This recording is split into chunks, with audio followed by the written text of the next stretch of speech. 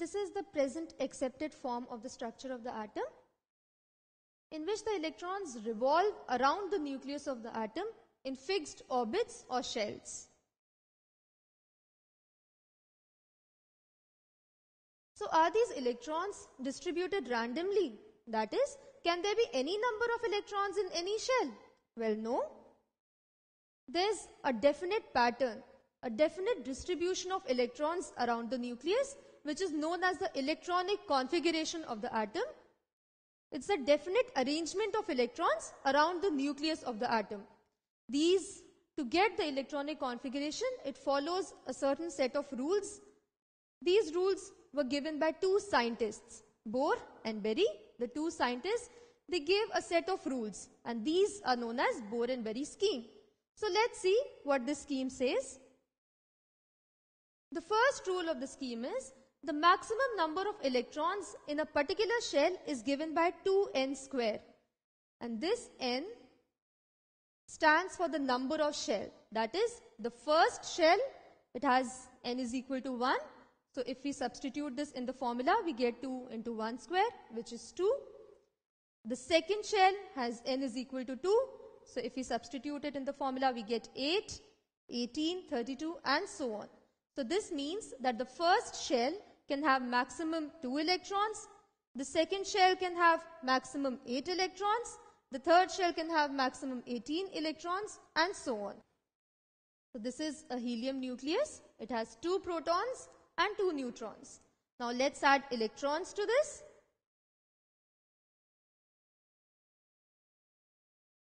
So as we add electrons, observe what happens. So you see that this third electron that I added automatically moves to the second shell. Even if I try to add it in the first shell, we see that it occupies or it takes position in the second shell and not in the first shell. This is because by 2n square rule, we know that the first shell can accommodate a maximum of 2 electrons. So the third electron cannot be accommodated in the first shell and so it takes position in the second shell. Similarly, if I add one more electron, it takes its position in the second shell and not in the first shell. So if you remember the names that are given to the shells, so the first shell is known as the K shell. It can have a maximum of 2 electrons. The second shell, known as the L shell, can have a maximum of 8 electrons. M shell can have 18, N 32, and so on. Let's move to the second rule. The second rule says that electrons are not accommodated in a given shell unless the inner shells are filled. That is, the electrons are filled in a stepwise manner. Let's see. Here we have a nucleus. So as we add electrons, the electrons first occupy the first shell, that is the K shell. According to Bohr, the energy of the shells is related to their size. So the first shell is smallest in size, so it has the lowest energy. Now when this shell gets filled, then the electrons are occupied in the second shell. So this shell, that is the L shell, has energy more than the first shell. So when this shell gets filled, then the electrons go to the next shell, that is the M shell, which has the highest energy out of these three shells. As the size of the shells increase, the energy of the shells also increase. So we see that the electrons are occupied in the shells in a stepwise manner. That is, First the K shell gets filled, then L, M, N and so on. The third rule says that the maximum number of electrons that can be accommodated in the outermost orbit is 8. So the outermost orbit cannot have more than 8 electrons. So let's revise the three rules. So according to the first rule, the electrons are occupied in the shells following the rule 2n square. That is the first shell can have a maximum of 2 electrons, second shell can have maximum 8 electrons and so on. The second rule says that the shells are filled in stepwise manner. That is the electrons first occupy the K shell, then L shell and so on. The third rule says that the maximum number of electrons that can be accommodated in the outermost shell is 8. So the outermost shell cannot have more than 8 electrons. So let's see. Let's try to write electronic configurations of a few atoms. So here we have oxygen. It has 8 electrons. So let's revise the rules. So according to the first rule, the electrons are occupied following the rule 2n square. So the first shell of oxygen, it can accommodate 2 electrons. Now oxygen has 8 electrons. So the first shell occupies 2 electrons, remaining 6 electrons go to the next shell. So this is for the K shell, this is for the L shell. Now since it has only 8 electrons, so we leave the other factors.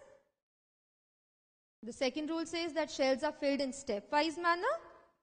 So the way we write the electronic configuration is, we first write the number of electrons that are occupied in the first shell, then we write a comma, then we write the number of electrons present in the next shell. Since it has only two shells, that is the 8 electrons can be accommodated in the two shells itself. So we enclose it within brackets. This is how we write the electronic configuration. And the third rule says that the maximum number of electrons in the outermost shell cannot be more than 8.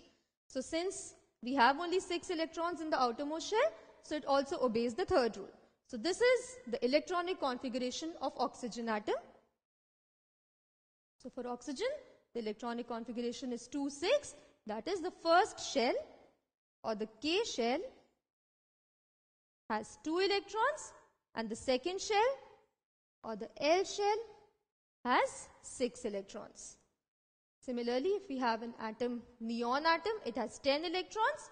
So the first shell can have 2 electrons and the remaining 8 electrons are present in the second shell, that is the L shell. Now let's take another example, sodium. It has 11 electrons.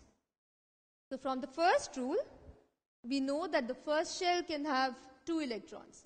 Now sodium has 11 electrons. So the second shell can have 8 electrons. Remaining 1 electron, it goes to the third shell. So from rule 2, we know that the electrons or they occupy shells in a stepwise manner. So how do we write it? We write the electrons in the first shell, followed by the second shell and the third shell. And then we enclose it within brackets. And we see again in this case, the number of electrons in the outermost shell is not more than 8. So it also obeys the third rule. So the electronic configuration of sodium is 281 and it's not 29. So we have to follow the 2n square rule in this. Similarly, another atom, argon atom, this has 18 electrons. So it also obeys the uh, 2n square rule. So the first shell has 2 electrons. This is the K shell. L shell has 8 electrons. M shell has 8 electrons. So the electronic configuration for argon is 288.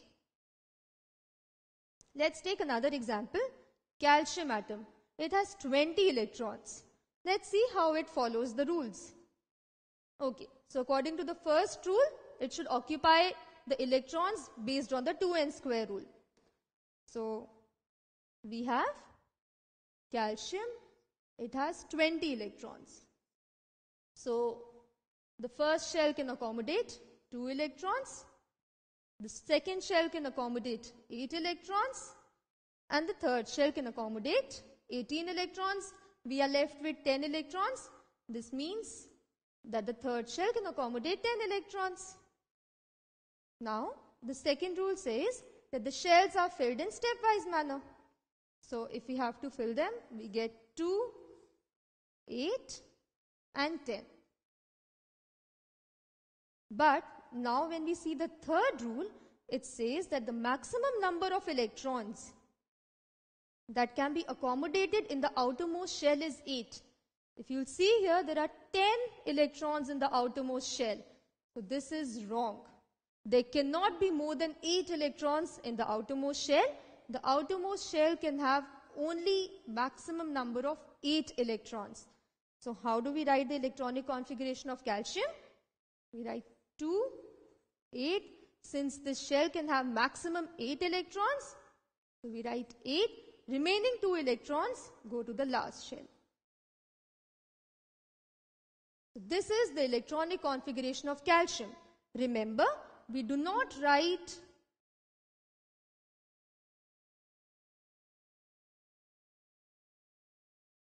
Two eight two eight. Why? Because this is wrong. When we are distributing these 10 electrons, we do not give the third shell 2 electrons and the last shell 8 electrons. The shells are filled in a stepwise manner. So when we are filling electrons, we first have to give 8 electrons to the third shell. The remaining number of electrons, they go to the last shell. So in this case, it has 10 electrons. So the third shell gets 8 electrons. Remaining 2 electrons go to the last shell. So this is the electronic configuration of calcium. Obeys the third rule, second rule and the first rule. That is why this arrangement, that is 2, 8, 10 is wrong because it violates the third rule. So the electronic configuration of calcium is 2, 8, 8, 2. That is, the K shell has 2 electrons, L 8, M shell 8, N shell 2. So we'd never write 2, 8, 10 because anytime you see the valence, the outermost shell having more than 8 electrons, this is wrong. So always keep in mind that the outermost shell cannot have more than 8 electrons. The magnesium atom consists of 12 electrons. What is the electronic configuration of magnesium? So again, let's recall the rules. The magnesium has 12 electrons.